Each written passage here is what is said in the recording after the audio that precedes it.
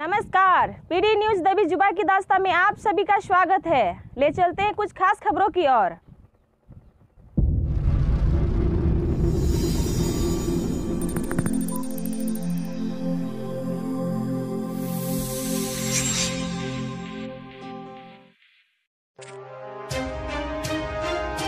रामनगर दिलकासबाग मोहल्ले में पानी में डूबने से एक व्यक्ति की हुई मौत। कटिहार नगर थाना क्षेत्र के रामनगर दिलकासबाग मोहल्ले में बारिश के पानी से हुई जल जमाव में डूबने से एक व्यक्ति मनीष कुमार की मौत हो गई। मौके पर जेडीयू नेता रमेश महतो ने बताया कि मृतक के परिजनों ने उन्हें सूचना दी और उसे सूचना पर सदर अस्पताल पहुँचे उन्होंने बताया कि मनीष कुमार रामनगर मोहल्ले में अपनी एक चाय की दुकान चलाता है और चाय की दुकान में काम करने के दौरान वो अपनी दुकान के पीछे शौचालय करने गया था इसी दौरान उनकी दुकान के पीछे जल जमाव था जहाँ वो डूब गया।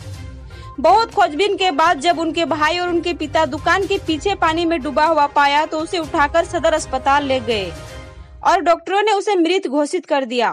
फ़िलहाल उनका पोस्टमार्टम कराया जा रहा है।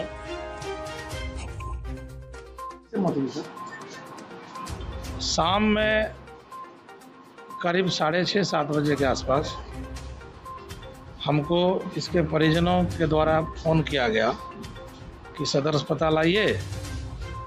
सो, मनीष कुमार पानी में गिर गया था, उसका अस्पताल लेकर के आए हैं। तो जल्दी आइए।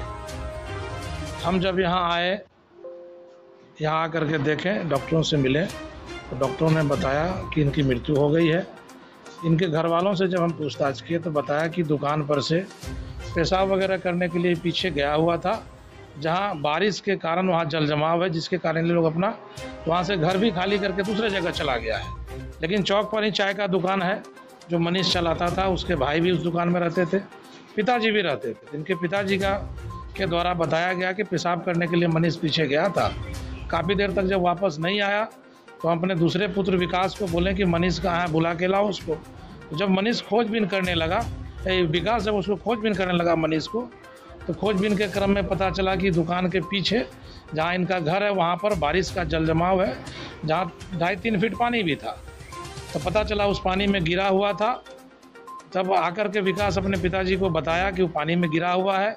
फिर उसके पिताजी और विकास दोनों उसको पानी से निकाल के सदर अस्पताल लाया जहाँ डॉक्टर लोग उनको देखने और जाँच पड़ताल करने के बाद ये बताया कि ये डेथ कर गया है। ये कहाँ रहने वाला सर? ये रहने वाला है रामनगर चौक दिलकश बाग का। वार्ड संख्या 25 थाना नगर, जिला कटिहार का निवासी। ऐसे ही बने रहिए हमारे पीडी न्यूज़ के साथ। तब तक के लिए हमें दीजिए इजाज़त। धन्यवाद।